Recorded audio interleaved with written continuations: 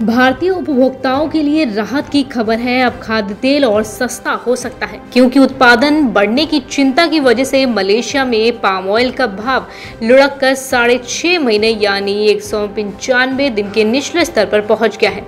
इसके भाव में सात हज़ार दो सौ अड़सठ रिंगेट रिकॉर्ड ऊंचाई से सैंतीस फ़ीसदी की गिरावट आ चुकी है। मार्केट के जानकारों का कहना है कि इस हफ़्ते पाम ऑयल में सेंटीमेंट बहुत मजबूती के साथ मंदी में बदल चुका है।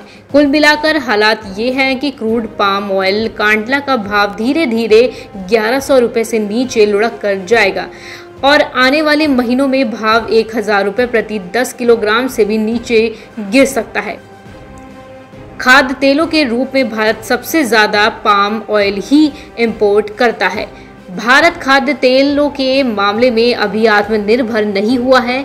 हम हर साल करीब सत्तर हज़ार करोड़ रुपए का खाद्य तेल इंडोनेशिया, मलेशिया, रूस, यूक्रेन और अर्जेंटीना आदि से मंगाते हैं।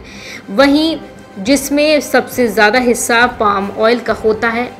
अपने यहाँ खाद्य तेलों की मांग और आपूर्ति में करीब 55 से 60 फ़ीसदी के गैप है।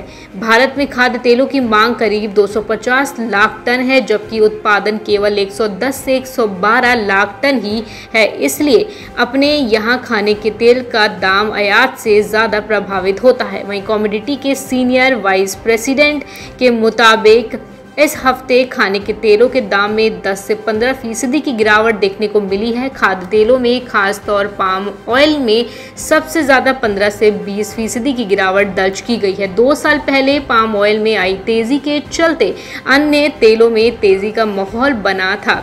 वहीं इस बार भी यही कहानी मंदी में देखने को मिल रही है। पिछले दो महीने यानी मई से लेकर जून में भी अभी तक मलेशिया और इंडोनेशिया के बाज़ारों में पाम ऑयल की कीमतों में 30 से 35 फ़ीसदी की गिरावट देखी गई है।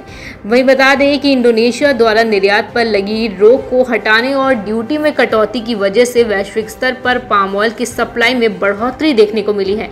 वहीं दूसरी ओर युद्ध के बावजूद यूक्रेन से सूरजमुखी का ऑयल निर्यात मई और जून के महीने में अनुमान से ज़्यादा बढ़ा है। वैश्विक मंदी की चिंता की वजह से कच्चे तेल में इस हफ़्ते 10 फ़ीसदी से ज़्यादा की गिरावट दर्ज की गई है, जिसका असर भी खाद्य तेलों की कीमतों पर पड़ा है। वहीं खाद्य तेलों की कीमतों ने इस साल अपने उच्चतम स्तर को छू लिया है और इस साल के अंत तक खाद्य तेलों में 10 से 15 फ़ीसदी की गिरावट और देखने को मिल सकती है।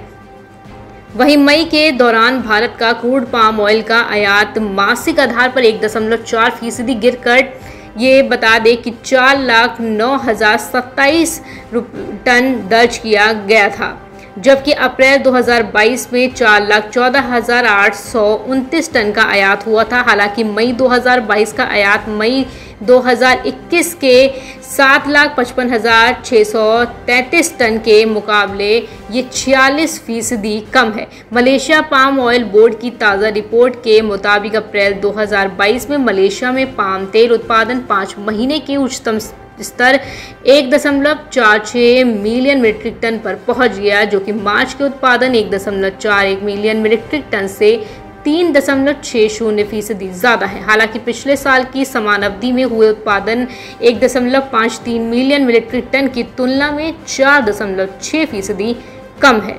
Bureau report, Market Times TV.